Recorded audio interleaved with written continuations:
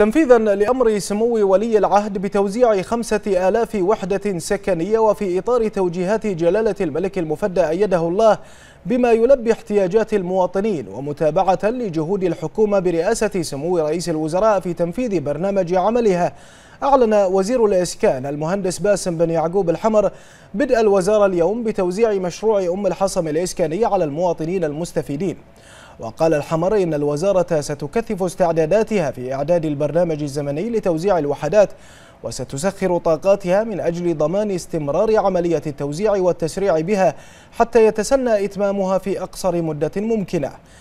مشيرا إلى أن جميع المشاريع المطروحة ضمن البرنامج الزمني للتوزيعات تندرج ضمن المشاريع الإسكانية التي يتم تنفيذها تحت مظلة برنامج عمل الحكومة لبناء 25 ألف وحدة سكنية والمنبثقة عن التوجيه الملكي السامي ببناء أربعين ألف وحدة سكنية التي أمر بها عاهل البلاد المفدى حفظه الله ورعاه بتنفيذها في أسرع وقت ممكن.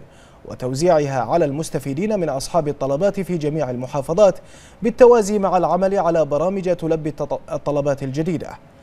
وأضاف أن الوزارة تستند في ثقتها على تنفيذ هذا الالتزام إلى الدعم الحكومي الذي تحظى به الوزارة حيث تولي الحكومة اهتماما كبيرا بالمشاريع الإسكانية تحقيقا للتوجيهات الملكية السامية كأولوية في برنامج عملها.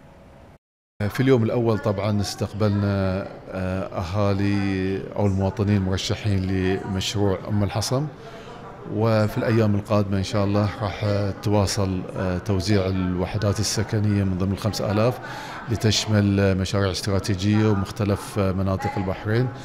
ومثل ما قلت إن شاء الله نأمل الانتهاء من توزيع الخمس آلاف خلال شهرين. من من اليوم. نحمد الله إن حصلنا بيت في مشروع ام الحصم الاسكاني وزير الإسكان ما قصر ويانا في المشروع. أه الحمد لله يعني أنا كنت أنتظرها من فترة طويلة وشعور وايد وايد حلو إن أنا حصلت البيت.